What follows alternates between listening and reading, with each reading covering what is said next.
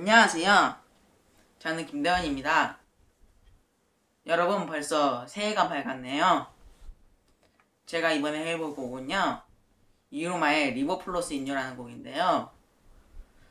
제가 어쩌다가 이 곡을 이렇게 기타로 하게 되었냐면 예전에 피아노 학원에서 어? 뭐지? 이 곡 뭐지? 배운다고 하네? 유튜브 좀 돌려봐야지 하다가 어? 뭐야? 기타 버전도 있네? 하다가 이렇게 알게 되어서 연습해서 왔습니다.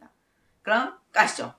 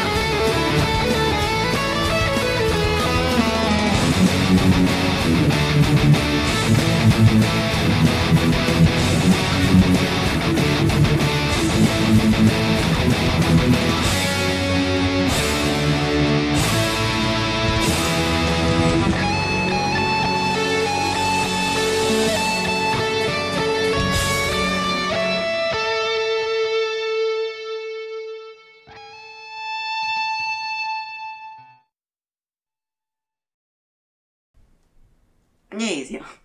빠이, 빠이, 빠이, 푸슈!